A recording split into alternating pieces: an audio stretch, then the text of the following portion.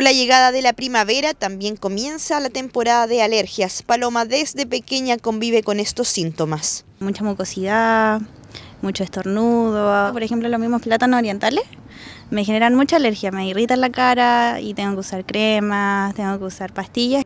Malestares que han afectado su calidad de vida. Es como incómodo porque aparte te produce como dolores de cabeza en algunas ocasiones y es incómodo porque uno anda y no sé, tiene que andar con el confort ahí, con las pastillas, que tener cuidado de donde sentarse, por ejemplo, en los pastos.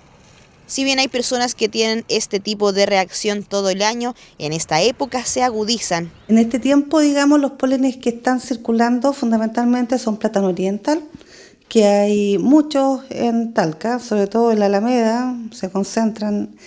Eh, también están los polenes de álamo, que también hay en las cercanías.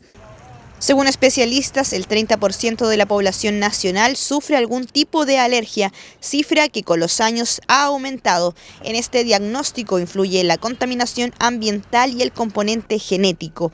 Pero ¿cuándo es necesario ir al médico? Si uno tiene síntomas leves, que significan o nasal o que tengan eh, secreción nasal o que eh, tengan eh, picazón, digamos, en la nariz, eh, van a necesitar tratamiento habitualmente, si es leve, con un antialérgico.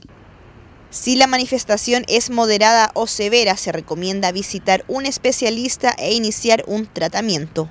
Aparte del antialérgico, uso de eh, esteroides, corticoides, pero a nivel local, en forma de inhaladores para la nariz y que funcionan bastante bien.